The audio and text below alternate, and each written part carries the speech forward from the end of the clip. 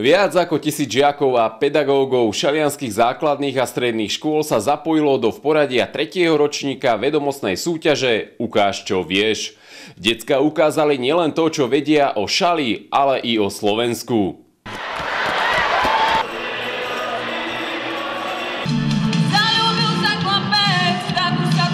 Toto je parketa, ako sa môžu porovnať a zároveň aj niečo sa dozvedieť, aj sa zabaviť. Musíme sa priznať, že trošku sme to odkúkali od televízií, kde podobné súťaže prebiehajú. Aj takto to vyzeralo v minulom roku na vedomostno-športovej súťaži v Šali Ukáž, čo vieš.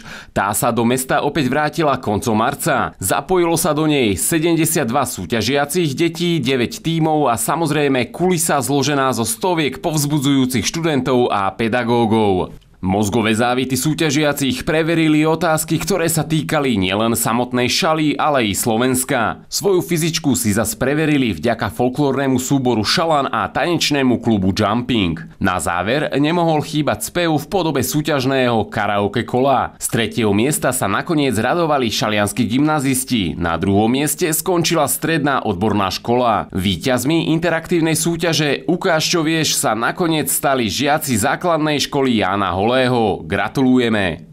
Viktor Bokor, televízia Krea.